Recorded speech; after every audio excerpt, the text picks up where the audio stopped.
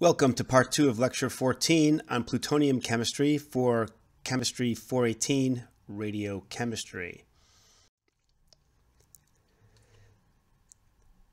This part of the plutonium lecture is going to focus on the metallic state of plutonium.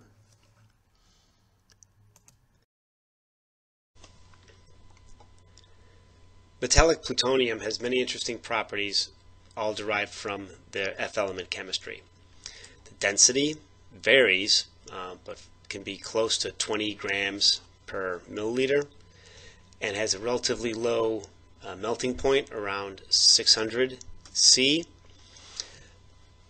There's strong interest in metallic plutonium related to how it's made, the processing, the relationship between the structure that's uh, produced, and the resulting properties. A, so this relationship is important for understanding the behavior of plutonium metal. There's also large interest in the reactions of plutonium metal with water and oxygen due to formation of oxides. And there's also uh, studies related to the impact of self-irradiation. How does that influence the behavior of plutonium metal?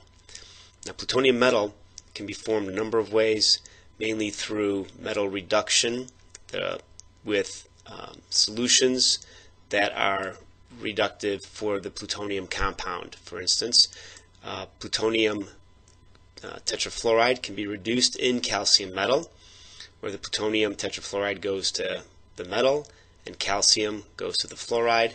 So um, this is performed by first producing the tetrafluoride species, inserting it into calcium metal, uh, melting the calcium. When the reduction occurs, plutonium is more dense and it solidifies the uh, at the bottom of the crucible. This is similar for the oxide, so the direct oxide reduction with calcium metal can also be performed where you use plutonium dioxide, calcium, and calcium chloride. And then there's molten salt extraction, where um, the molten salt system is used as a solvent where plutonium can be reduced to the metallic state and the solvent, in this case molten salts, are not uh, influenced through, by the reduction behavior. Electrorefining is this process where plutonium is formed into a metal in a molten salt system. In this case, liquid plutonium can uh, oxidize from an uh, anode ingot into an electrolyte salt. The salt is at uh, elevated temperature above the melting point of plutonium metal. So the plutonium can get uh, could be introduced, oxidized plutonium 3. Um, this plutonium 3 can go to the cathode, where reduction occurs, and when the plutonium metal is formed, it melts and it drips off the cathode into a criticality shape, a criticality safe shape as, this ring shown here. Plutonium metal can also be purified through zone refining. In this case, plutonium metal can melt. Some of the impurities will not melt, such as oxidize. They'll form a slag. So you could take plutonium metal, you melt, uh, you have a melt zone in which uh, the plutonium metal can pass through at a slow rate. Um, the impurities travel in a direction uh, either the same or opposite of the melt, but you have a you wind up having a section of the metal that has a relatively pure plutonium phase and a phase that contains the impurities. Another interesting property of uh, or purification route for plutonium metal is shown here where you can do vacuum distillation of americium that would be produced from the decay of plutonium-241 in a plutonium sample. In this case, you can levitate plutonium metal in a magnetic field heat up the sample so it becomes liquid. By putting this under a vacuum, you can distill off the americium and leave behind very pure plutonium metal. This is usually, usually uh, material that's used for experiments. And the reason people would be interested in making pure plutonium metal extremely pure is to study its fundamental properties. Plutonium metal has some extremely interesting uh, properties, particularly the different phases of the plutonium metal. Here we see that the metal goes through six phases. This is the length of change plotted against the temperature.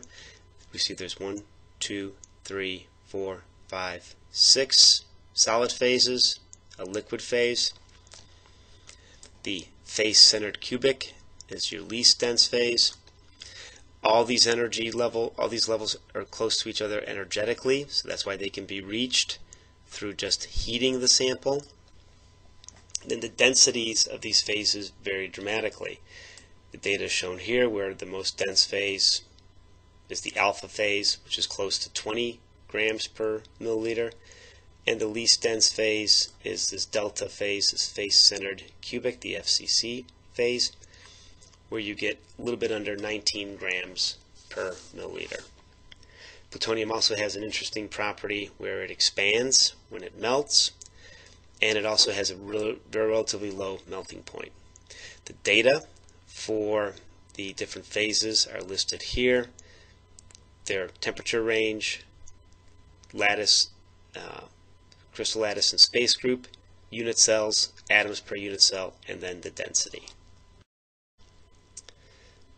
This interesting property of uh, plutonium, where you have the different phases, is also manifest at higher pressure. So in this figure, see as we increase the pressure, this phase, which isn't present at regular atmospheric pressure, can be formed.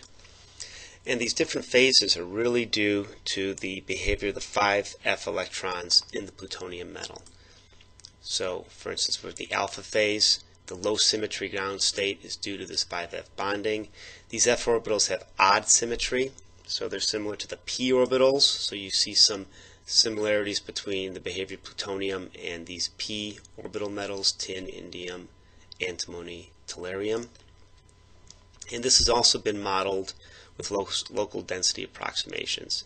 And they show that uh, the narrow widths of the F bands lead to low symmetry ground states of the actinides, which is observed. And here's an example of some of these lower symmetry crystal states. This is similar to the figure that was shown on the previous slide. And we see as we get higher, we go from lower to a higher symmetry. The other thing that can be pointed out here compared to aluminum which just has one phase that increases in length and then when it reaches its melting point the density decreases. Very simple system. Plutonium is much more complicated with these different phases and then added to the fact that the liquid is more dense than the highest temperature solid phase. An example of the mixing of different electron orbitals in the development of plutonium metal can be shown here with the delta plutonium, which has the FCC phase. The total contribution is shown in this solid red line. Now, plutonium was only consistent with the F electron band. The measurement would be, um, the lattice constant would be smaller than contributed. It would be dominated, dominated by here. The contribution from the S and P bands, which are shown here, stabilizes larger volumes, and the F band is narrow at larger volumes. So if we see over here, we see that it gets narrower. And there's strong competition between repulsive S and P band contributions and attractive um, F band contributions, and this caused some instability near the ground state. One of the manifestations of this instability is that the density of states functions are different for the low symmetry crystal structures. What that really means is that total energies of crystals are close to each other, close enough where they can be expressed by heating the metal or by applying temperature. If you think about it from the terms of a Boltzmann distribution, you can start uh, you can start pr promoting electrons to higher energy states which from one state to another so that they can occupy different orbitals different bonds, different bands, and for the plutonium metal that's going to manifest itself in different crystal structures.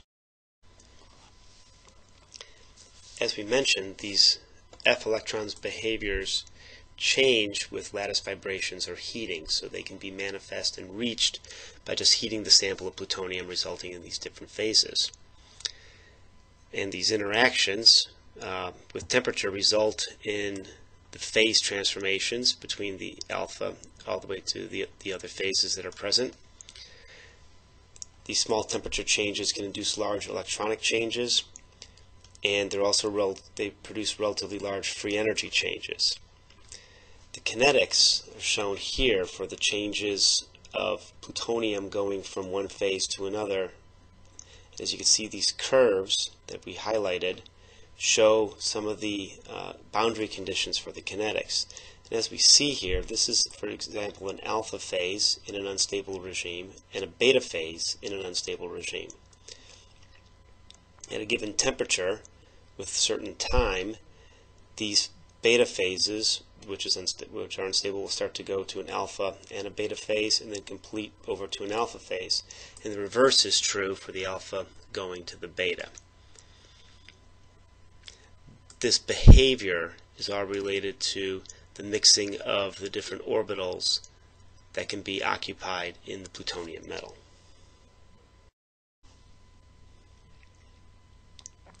This behavior for the actinides increases up to plutonium and then switches over from americium on where the material is more like the lanthanides.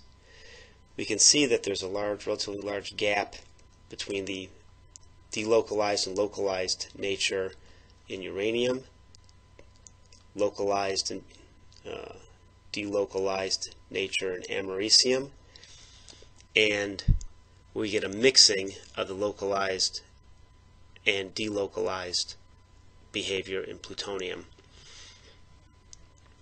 So once we, because of this, we get these transitions. The itinerant here is the stable phase. Over here we get a mixture of going it from delocalized to localized, where in the americium the electrons, the F electrons, are more localized.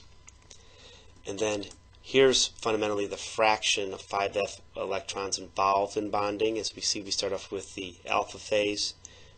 As we would see here, we have uh, largest amount of itinerant behavior. Right, so the F electrons are uh, involved in bonding. We get a decrease as we go down. We go to the, the less dense, the least dense phases have the lowest amount of F electron contribution um, in, in, the, uh, in the metal bonding, and we actually go up when we hit the liquid phase. Another way of viewing this behavior in the, uh, the uh, F element behavior in the actinides is shown here. As we go from neptunium to plutonium, we see the phases get more complex. And then as we go beyond plutonium, the F bonding decreases and the phases become much simpler. This is also observed here where we get simple phases. We start increasing, we go up to plutonium, the phases become more complex. We're increasing the f orbital behavior and f orbital interactions in the materials. And then once we get beyond plutonium towards americium, the systems becomes much simpler.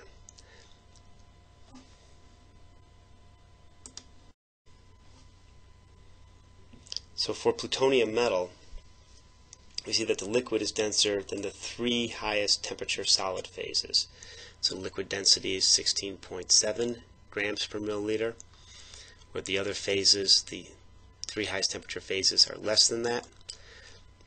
For this reason, materials that are made with plutonium um, are often alloyed so that behavior can be consistent. And here's an example of figure showing the phases as a function of temperature for plutonium metal and a plutonium alloyed with gallium. We see that the gallium phase, the delta phase is stabilized over a very large regime. Lattice change or length change is minimalized when temperature is reached where the epsilon is formed and then liquids are also formed. And we see that there's uh, consistent behavior with these alloys. As an example, though, this phases that we see here is a relatively narrow band of the plutonium-gallium phase diagram. We see that the alloy only occupies a relatively small area of this phase diagram where we have fundamentally 11 different compounds that can be formed between plutonium and gallium. So it's a rather complicated phase diagram, but this property here is exploited for plutonium metal. And as we see here, this is the example of the change in the density as the material uh, temperature increases, we see a change in density where the liquid phase winds up being more dense than the solid. Some details of the gallium-plutonium phase diagram are shown here at the low gallium concentration end. And these are the US and Russian phase diagrams. The information is shown here. The main difference is that the Russians observed uh, complicated intermetallic, so plutonium alpha phase plus this plutonium gallium intermetallic under conditions where the US phase diagram just predicted a single delta phase.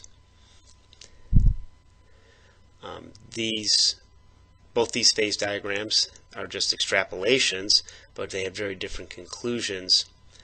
And these were important differences where um, at the end of the Cold War they were used as a common research project uh, to understand the behavior of plutonium, uh, gallium alloys under these specific conditions. Plutonium also forms alloys with a number of different metals, such as these listed here can stabilize the delta phase at room temperature, and these listed here, uh, some of the tetravalents, the delta phase can be stabilized with rapid cooling.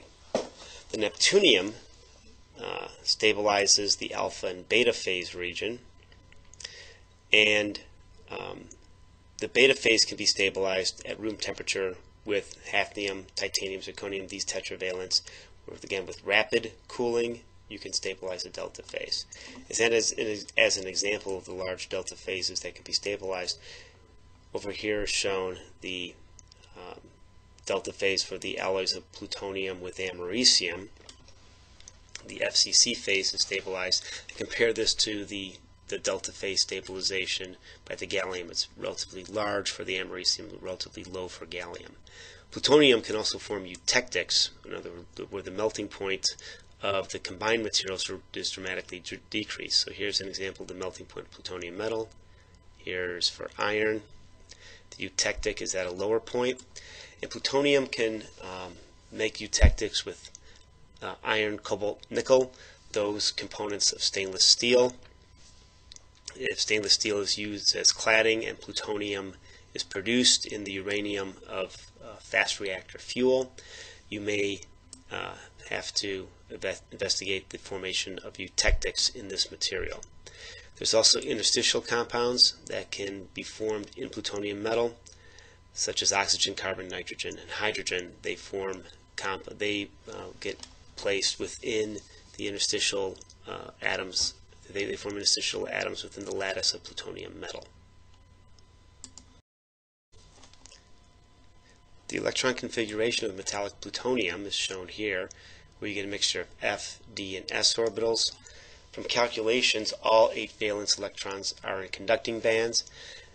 The 5f electrons in alpha plutonium behave like 5d electrons of transition metals more so than the 4f's of the lanthanides. And this is, this is what really manifest the behavior. The 4f's are not really involved in the bonding and structural behavior. They're not in the, the highest occupied molecular or highest occupied orbitals, whereas in plutonium the 5f's are. The bonding and anti-bonding orbitals um, from the sums and differences of the overlapping wave functions are complicated for the actinides and again, the small energy differences between the orbitals can overlap in the solids, and this is what accounts for the different configurations, and it's just manifest for the actinides at plutonium metal. Some of the uh, methods for Uh, understanding and modeling plutonium metal are briefly described here.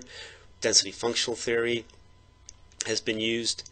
For the actinides, one needs to include low symmetry structures, relativistic effects, and electron-electron correlations. Local density approximations have also been used, and these include some potentials and Coulomb interactions. And then there's a generalized gradient approximation. These are localized electron density and density gradients. All these terms are often employed if you read papers related to uh, density functional theory, DF, uh, DFT computations involving the actinides. Um, these terms will be used. The computations are used to calculate uh, energies at the ground state and can be compared with uh, different configurations to identify those ground states which should be the most stable. So plutonium has the right amount of F electrons for this chemistry to be significant. One of the influences of the heavy nucleus of plutonium and the actinides are to impart relativistic effects on these F electrons. What's the manifestation of relativistic effects? It's due to the fact that particularly the s orbitals are pulled closer uh, to the nucleus since the, um, they can they can have a probability of being at the nucleus. They experience more of the charge of the nucleus. Their velocities increase. Well, they become relativistic. Their, their relative mass increases. They have um, their radii shrink. This shields the uh, F and Ds primarily from the uh, or from the charge of the nucleus, and the F and uh, the D and F orbitals get extended. So we can see this behavior here, where if we ex examine the 4F in trivalent samarium, where the dashed line here is the relativistic calculation, uh, excuse me, the non-relativistic calculation, the solid line is the relativistic calculation. We see there's a slight extension on the relativistic, but if you compare that to the plutonium, the isoelectronic plutonium, you see that the relativistic calculation is further extended to the point where an area where um, the distance is important for bonding, you will get F electron contribution. So these relativistic effects allow 5F electrons to um, participate in chemical bonding because they're relatively far from the nucleus compared to the 4Fs. And if we look at the 4Fs here, by this point, so let's say one and a half angstroms, very little probability of finding them at uh, those 4Fs at this point where we have a much larger probability of finding the 5Fs.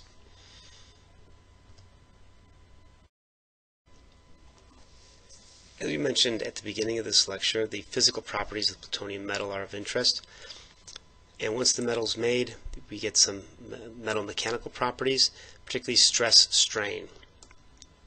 The alpha phase plutonium is strong and brittle, similar to cast iron as we see from uh, this point, cast iron plutonium metal shown here, where the delta phase shows this uh, limited elastic response followed by plastic behavior, basically the same sort of behavior as aluminum. The delta phase has some low, low yield strength and ductile fracture. So the properties of these two phases are radically different. As we see with the alpha phase, it's more like cast iron where it would just it would just fracture after putting a certain amount of stress onto it. It wouldn't bend very much, whereas the uh, the delta phase would act more like aluminum. It would start to, um, after a certain amount of stress, it would start to increase, it would start to um, increase in length. So an example, for those of you who have not seen stress-strain relationships, is shown up here.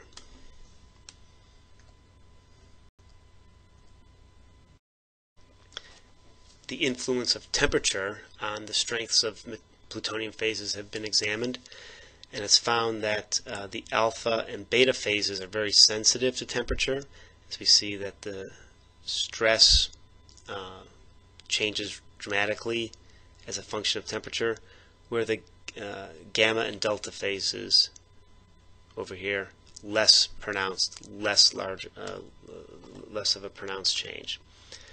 Now, the ranges are fairly wide, and this is a compilation of different work, and um, there might be some variations in the behavior and properties of the materials, particularly for the alpha phase uh, plutonium. That's why we get such a large range.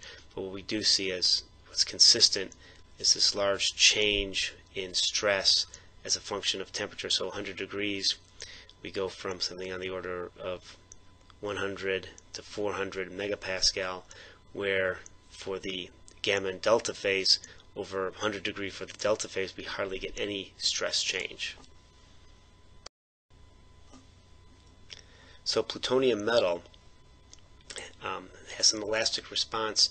This is again due to electron structure and, and resulting cohesive forces. Metallic bonds, uh, when they interact, they tend to have high cohesive forces that give uh, high elastic constants. Now, metallic bonding is not very directional, right? Since the since these electrons that these metal ions are sharing should be shared throughout the lattice. So this results in metal atoms that surround themselves as many neighbors as possible, so they're close packed and relatively simple structures. Now, as we've already seen with the plutonium 5F electrons, they have relatively narrow, high, uh, narrow conducting bands with high densities of states. So plutonium has typical metal properties at elevated temperatures or in alloys, as we've seen, but for the lower temperatures we have this low symmetry. And again, this not only has this structural behavior, but has some of these mechanical behaviors that go along with it. And again, it's all linked to the behavior of the F electrons. Now, one of the investigated properties of plutonium metal is this corrosion rel uh, relevant oxidation. Uh, this mainly has to do with the fact that the metal itself is very dense, the oxides are less so, so any corrosion or oxidation is accompanied by swelling of the material since the density is decreasing. What's been examined is formation of oxide layers, how these oxide layers form, and the role of water and oxygen in the atmosphere on the corrosion and oxidation of plutonium metal. Plutonium metal has pyrophoric properties, so it's known that the oxidation can be very rapid. What is known is that the corrosion depends upon the chemical conditions of the plutonium surface. So if there's um, low amounts of oxygen present, as opposed to forming UO2, Pu2O3, so the trivalent as opposed to the tetravalent oxidation state can be formed. This phase actually promotes corrosion by hydrogen. So the role of water, again in the presence of oxygen, is important. Another thing is the formation of the hydride can increase the oxidation of plutonium in oxygen by 10 to the 13th. So a small amount of hydride formation, for instance from water, can have a very pronounced effect on any oxidation of the plutonium. There's also hyperstoichiometric uh, dioxide that can form um, in, the, in the presence of water, and this can enhance the corrosion of plutonium metal in moist air.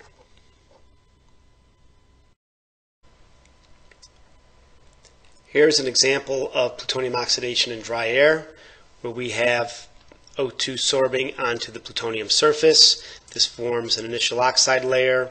Over time, that oxide layer grows, and then we have diffusion of the oxygen through that layer in order to uh, oxidize more of the plutonium metal.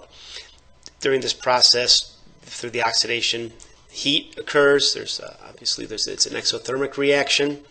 Over time, this oxide layer can grow. When it gets to around 4 to 5 microns in room temperature, there's surface stresses that occur and the oxide layer starts to fall apart. So once that occurs, this area now has a shorter path length. This can lead to further oxidation.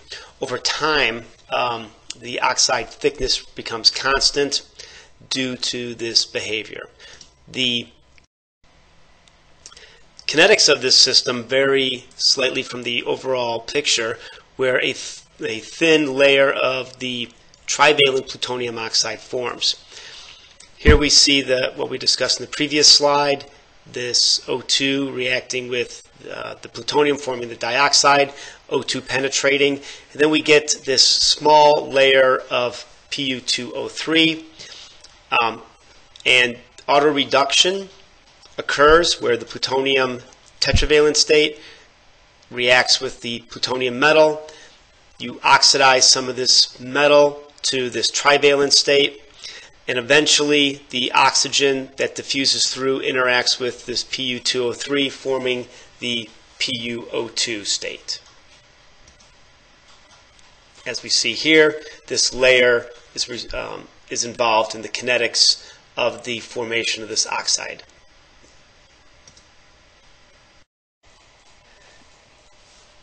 The oxidation kinetics of uh, plutonium metal and alloys have been examined in a number of conditions, primarily dry air and water vapor.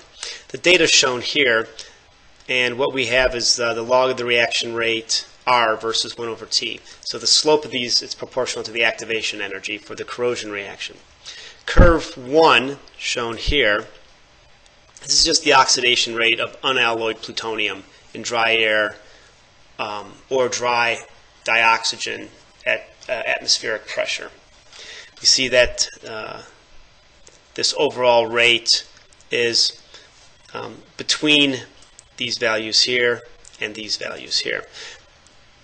This other curve where the rate um, is where we have our rates higher at the same temperature. So as we see here, 100 degrees, 200 degrees, this is the inverse of the temperature down here. We see that this is, includes water vapor up to uh, 0.21 bar. We see that there's this has been examined over a few temperature ranges. The behavior is consistent for temperature ranges up to 110. Then from 110 to 200, we see this change occur. But overall, this, the rates are going to be larger at the same temperature than for uh, than for systems with dry air. So the role of water definitely increases the oxidation. This is the behavior of the gallium stabilized delta phase in dry air and moist air, respectively. And we see that those oxidation rates are lower, so the alloy has a little bit better stability against oxidation when compared to the metal. Now, if we look over here at this curve, this is a transition. Um, it's between at higher temperatures, we start to see an autothermic reaction, and this is the transition zone. So these rates, higher temperatures, the rates are definitely getting higher. And over here, we see that there's a uh, temperature independent rate. Right, as the temperature increases, the rate remains constant, and this is for uh, the reaction of burning metal or alloys under static conditions. And then if we do an experiment where you would drop, uh, you'd have droplets of the metal or alloy that were burning during a free fall, you would actually increase the rate with temperature. So the data from this curve demonstrate the role of water in the oxidation and the fact that the alloys are less susceptible to oxidation than plutonium metal. Here's an overview of plutonium metal oxidation under various conditions. Here's what we described earlier, where we just have air atmosphere at 25 degrees, where we have the plutonium dioxide, the trivalent oxide, then with the plutonium metal. If the atmosphere is varied, and we have either inert gas or dry air, what we see um, at 25 degrees over a long period of time is an increase of the growth of this PU2O3 layer. Under dry air, it's a very thin layer. However, under uh, the inert uh, atmosphere, this layer grows uh, into a rather large, it can be a rather large layer. If the temperature is increased, what we see occurring is for both systems, the PU2O3 layer can be uh, very large. In the dry air, it goes to a steady state, whereas in the uh, vacuum and inert gas, this phase can be the dominant oxide phase.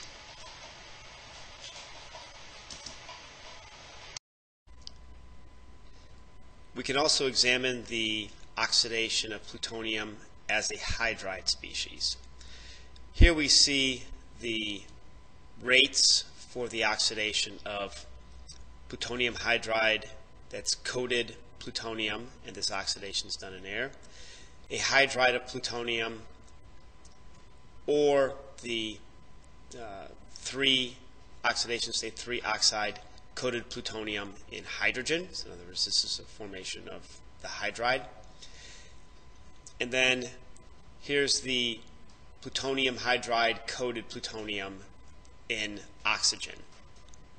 So we see that these rates, particularly if we compare them to the rates we previously discussed, we see that there are a few differences. One, the rates are a lot greater. And two, they're constant. We don't see the temperature variation as we saw with the previous discussion on just the metal oxidation. So the hydrides are definitely a system that one would want to avoid. This is one of the reasons that water is uh, effectively removed from any stored plutonium metal. And as we see here, this hydride is readily oxidized by air. And then if we go to from an air to an oxygen atmosphere, the rate of oxidation goes up. And this hydriding occurs only after the dioxide layer is penetrated. So um, the hydrogen is kind of an initiating step. We see that these values are constant. And one of the things that we could take away from these constant values is that the surface acts as a catalyst for the oxide reaction. So the hydride, it's not a true catalyst. It is fundamentally destroyed, but then the hydrogen migrates and then reforms the hydride later. We'll talk about that in the next slide. And these are obviously from these rates, we see that these are the most reactive locations. In fact, from temperatures between negative 55 Celsius and 350 Celsius and a hydrogen atmosphere of 1 bar, the reaction is fully active. It consumes plutonium at a constant rate between 6 and 7 grams per centimeter squared per minute. This means that if you had an alloy of plutonium or uh, alloy of uh, plutonium metal, excuse me, plutonium metal or plutonium alloy, the rate of this oxidation would be about 20 centimeters an hour. And here's more detailed about the oxidation plutonium hydride as we just discussed. So imagine that we have a hydride uh, coated plutonium oxide that gets exposed to oxygen. The oxide reacts with the hydride, forms this plutonium-3 oxide. With the evolution of heat, this forms at the surface. This produced hydrogen then migrates to the plutonium metal layer, where it then forms plutonium hydride. This is an exothermic reaction and helps drive this formation. That's why the kinetics are so rapid. It's almost a autocatalytic type of reaction. The process is that we get oxygen absorbs at a gas-solid interface as the dioxide, as shown here. So this dioxide forms the plutonium-3, the Pu2O3 species. And as the O2 uh, dissociates and enters the oxide lattice as the anionic species, as what's shown here. Then we get this thin layer of um, where we get this layer of oxide and a thin layer of the dioxide may exist at some sort of surface or some interface, but it's not a dominant species. So as this oxide enters the lattice, we definitely form some oxidation. This migrates down to the hydride lattice area where we get the formation of the oxide. And uh, the oxygen for this reaction is exothermic, forms the, di, uh, the dihydride, the dihydrogen, and that forms the plutonium hydride. So we see that the surface is where the uh, reaction occurs, but we get a migration of both the oxide and the hydride through the plutonium metal. Now why this is important is that for storage of plutonium metal, it's uh, you want to prevent any sort of oxidation from occurring because it goes from a very dense material to a light uh, lighter material. That means you have swelling, as an example here, of two storage containers that contain plutonium metal. Upon the reaction of this oxidation reaction, the material converted from the metal to the oxide and the hydride, swelling the package, and in one case, bursting the package. When you've completed part two of the lecture on plutonium chemistry. Please proceed to the third and final lecture.